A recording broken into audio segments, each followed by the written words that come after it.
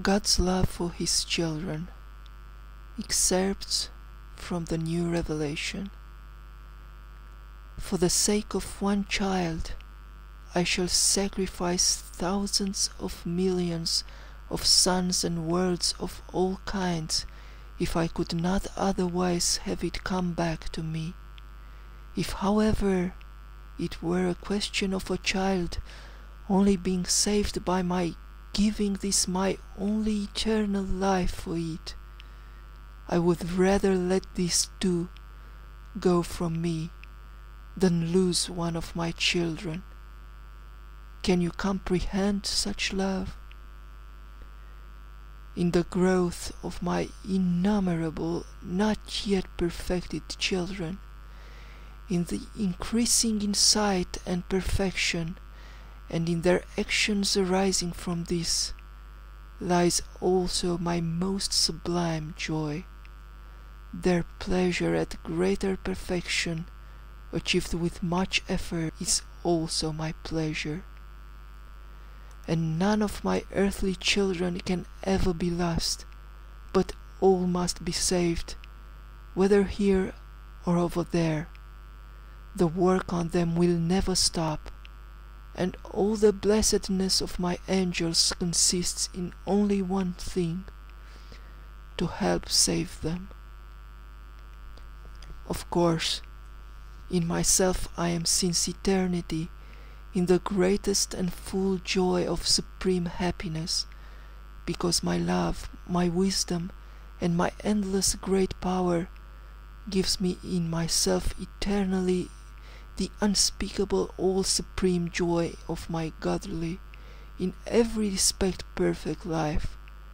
And as your father, I say to you, whatever I have, my most lovable children must have also.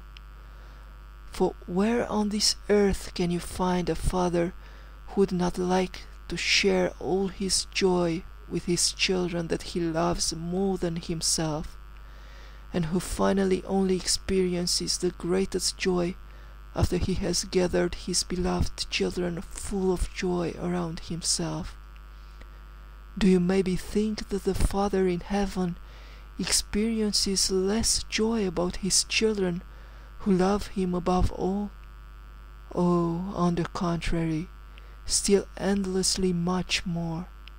But therefore, he also will prepare for them endlessly much greater joy than an earthly father does or can do from the deepest of his heart for his children for your Father in heaven truly has the infinite and eternal most wonderful diversity of means for it.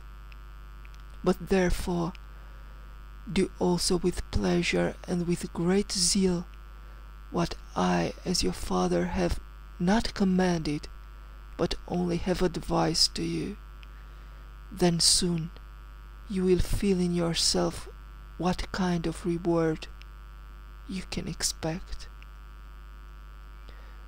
What is that makes me the great God, the great Creator?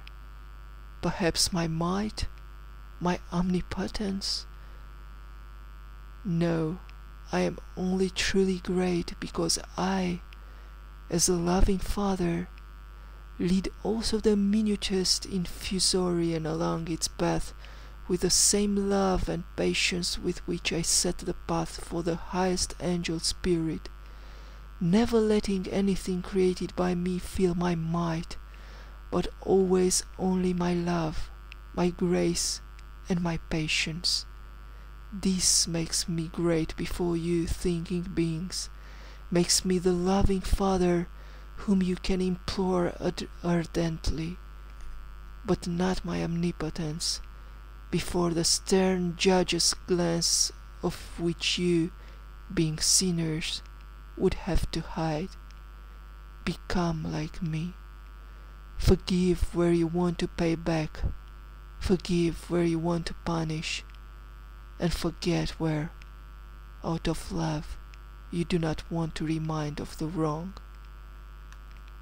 And now, you blind scribe, of this my new and living word within you, as also within all of you.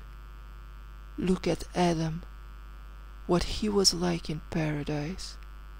He was a perfect man, with one exception, endowed with many abilities, a perfect lord of the earth.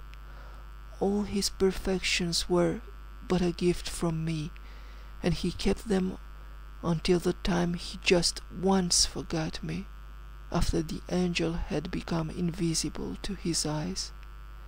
And behold, all that which Adam possessed as a gift will I give all of you as a permanent gift and countless more and endlessly greater treasures, that is, myself, and all that is mine shall be yours too, if you love me and nothing but love me.